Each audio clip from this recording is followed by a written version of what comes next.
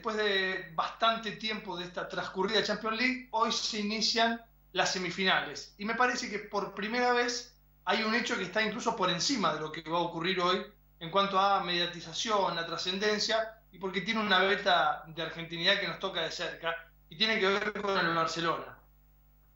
Tranquilos, no voy a hablar de lo ocurrido futbolísticamente eh, la semana pasada, cuando desde los números probablemente haya sufrido eh, el cachetazo más fuerte de, su historia reciente, de la historia de este Barcelona encumbrado entre los cuatro o cinco clubes de mayor trascendencia y de mayor nivel en el mundo. Eh, sino que no, en vez de ir al resultado, voy a ir quizás eh, a las causas, no del resultado, sino de esta actualidad de las dos instituciones.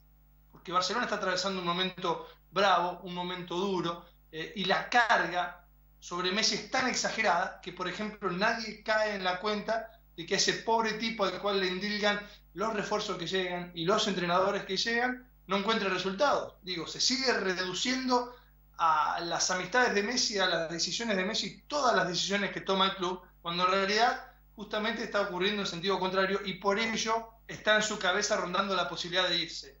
Hace un par de años, Bayer eh, lo tenía, por ejemplo, a Frank Ribery, por ejemplo, a Ariel Robben, dos futbolistas de trayectoria, de trascendencia, de gran edad, que se terminaron yendo para que surjan pibes. ¿Qué hizo el Bayern? Se reinventó, le buscó la vuelta para seguir siendo. Y allí me parece está uno de los puntos claves. Da la sensación que desde algún punto de vista Barcelona sigue anquilosado, sigue atado al equipo de Guardiola y a la filosofía de Guardiola. Cuando ya ni siquiera el mismo Pep juega con sus equipos exactamente igual al modo en el que jugaba con el Barcelona. ¿Qué ha hecho?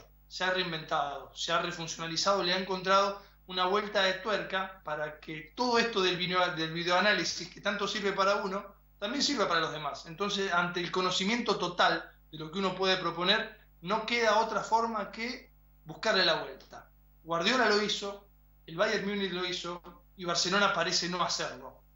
Y por eso tiembla la continuidad de Messi. Y cuando uno escucha eh, la duda, que pareciera ser real porque lo marca eh, el círculo cercano a Messi, no respecto de que sí se vaya ahora, pero sí respecto de la idea de por primera vez en su carrera, en serio, pensar en abandonar el Barcelona, es indefectible que venga la imagen a la cabeza del día que renunció a la selección.